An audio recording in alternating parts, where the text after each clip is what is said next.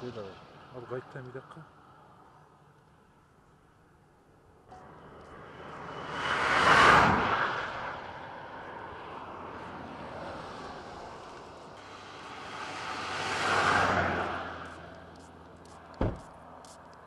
Mama Cemil, Nereden geliyorsun? Afganistan'dan.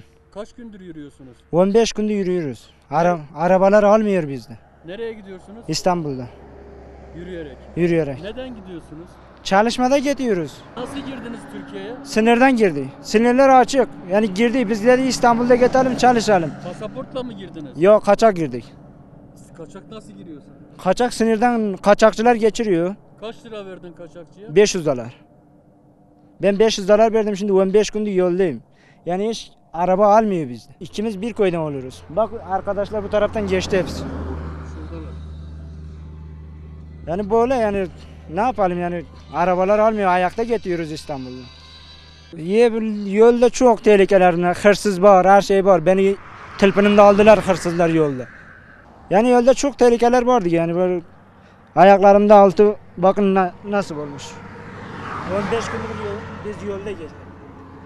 Yani insan Göstersene bir daha. böyle. İnsanlık böyle böyle. yani? Gerilmiş. Ya bu arabalar bizi kaldırsa biz böyle sıkıntılarda çıkmıyoruz. Arabalar kaldırmıyor bizi. Yaradan olmaz bir şey olmuş kötü olmuş.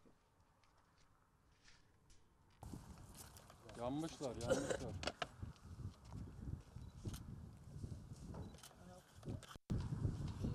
Türkçe biliyorsunuz.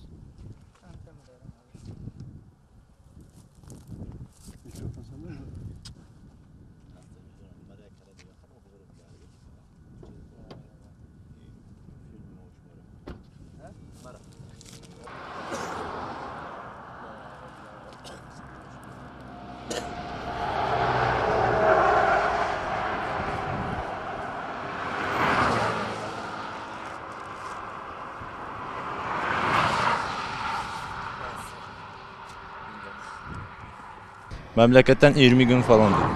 Yürüyerek mi geliyorsunuz? Aynen. Hayaliniz nedir? Ne yapmak istiyorsunuz? Bizim hayalimiz hani ailemizı kurmak için geldik. Çünkü orada zor durumdayız. Biz de hani orada ailemizde zor durumda. Taliban bize tehdit ediyor. Bir de askeriye de gidemiyoruz. Onun için eğer askeriye gitsek bize vurduruyorlar. O yüzden Avrupa'ya, Türkiye'ye kaçmak zorundayız. Türkiye'ye kaçak girdiniz. Aynen kaçak girdik. Ee, kaçakçılar mı aldı sizi? Aynen, Kaç bize- lira verdiniz? Biz bazı yani Afganistan'da 1000 dolar, İran'dan gelirsek e, 700 dolar falan alır.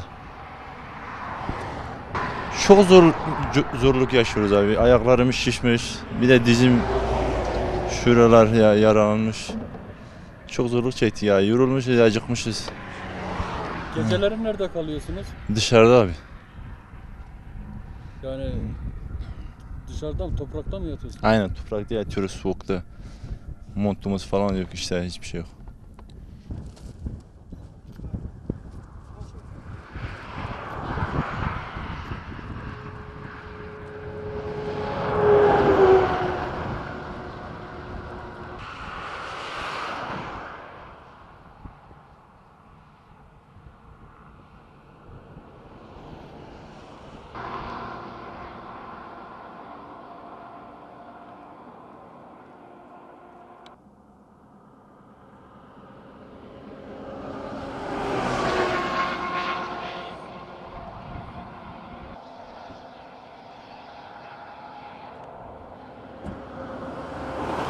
Ülkelerindeki iç savaştan dolayı Türkiye'ye kaçak yollarla giriş yapan Afganların umuda yolculuğu devam ediyor.